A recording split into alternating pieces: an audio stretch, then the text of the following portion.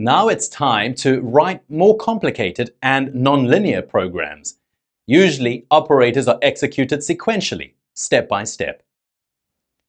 But now we want to describe conditional constructs that run the needed branch of operators according to the conditional result, true or false. Consider the syntax of the conditional if in the 1C enterprise language. Parts after else if and else keywords are optional. Using this syntax, we can create as many operator branches as we need. So now consider the simple example of using the conditional if. There is only one condition and one operator. The system displays the message only if the logical expression is true. If the logical expression is false, the program skips this part of the code and proceeds to successive operators. Pay attention that this operator in our case is a comparison operator. Equals to, not equal to, greater than, greater than or equal to, less than, less than or equal to.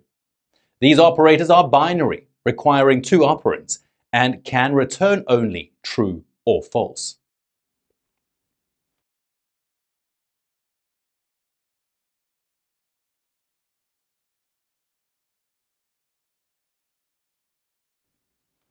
Consider the conditional if form with two branches.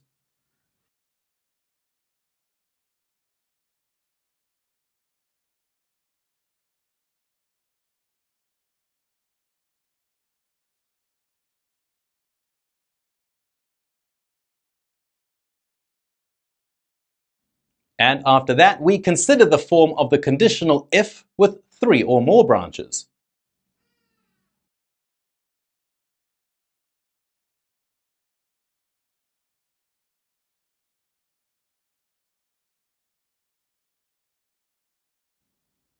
Notice that the number of else if conditions is unlimited.